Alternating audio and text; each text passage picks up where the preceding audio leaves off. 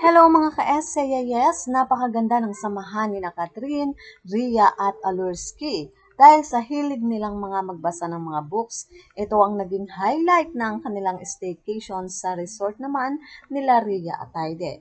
Siyempre, best of friend talaga yung si Ria at Catherine, kaya naman itong si Catherine talagang feel na feel niya ang place.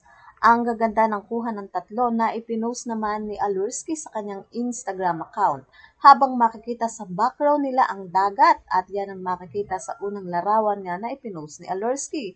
At makikita rin na kanya-kanya silang hawak ng, bu- ng book habang nakahiga sa beach bed. At ang kanilang hawak na book ay ang book na isinulat ni Colin Hoover, ang Ugly Love.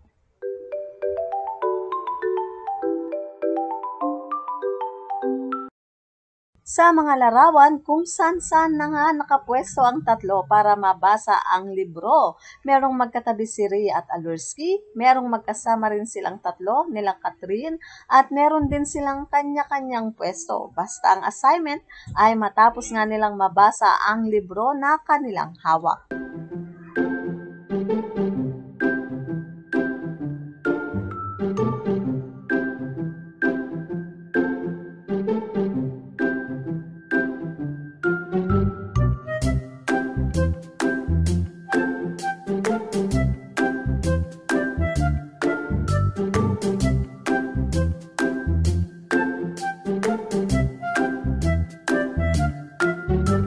Sa caption naman ni Alorski, sinabi nito na pangarap niya talagang magkaroon ng book club. At ngayon, nakasama at nakasabay niyang magbasa ng libro ang mga kaibigan niya. Masaya si Alorski at nagpasalamat siya sa kanyang mga kaibigan na nakasabayan niya na kiligin sa istorya ng kanilang binabasa. Ni Alorski, at Ria 1, 2, 3 silence. Binigay niyo rin naman, sumobra pa. You made me so happy at Bernardo Cat at Ria. Di niyo palang ata gets how much love ever since I became a bookworm. I always daydream of someday having a book club or just read the same book together with friends. Starting from page 1. Tapos, sabay mapapahiyaw pagkilig.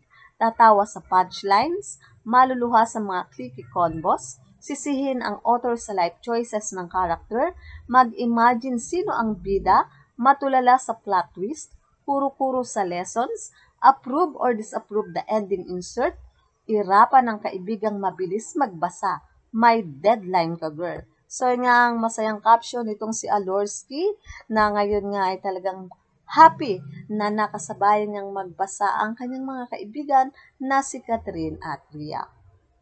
So mga ka-SAYS, yun nga po ang balitaan at talagang napaka-good vibes ang lagi nating nakikita dito sa tatlong ito, kay Catherine, kay Ria at kay Alurski dahil nga sa pagbabasalan nila ng libro. Kaya naman napakarami rin naman ang nahihikayat nila na gawin ito. Well, kung nagustuhan niyo po ang ating balitaan, put your comment down below.